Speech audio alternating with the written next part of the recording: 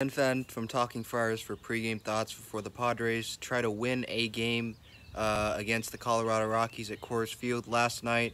Didn't go well. Again, the offense was nowhere to be found except the ninth inning uh, when they got two base runners on in the same inning for the first time in the whole game. Uh, you know, Pham hits the double, Grisham hits the homer. Uh, but other than that, offense was nowhere to be found. Like I said, Austin Gomber goes eight shutout innings. Yeah, uh, if you're a casual fan, you've probably never heard of Austin Gomber before.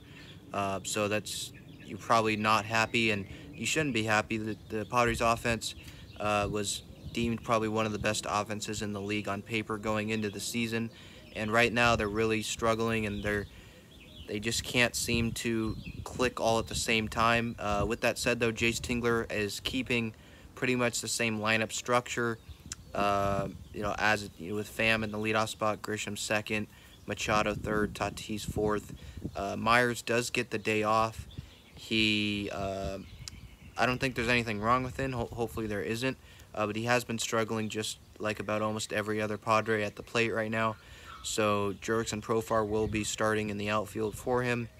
Uh, it'll be Yu Darvish on the mound. So the Padres, if they don't win this game, uh, it's definitely a good time to worry because Yu Darvish is obviously their ace. If DeGrom isn't, um, you know, pitching like he isn't human, uh, Darvish would have a good argument for being the Cy Young leader right now.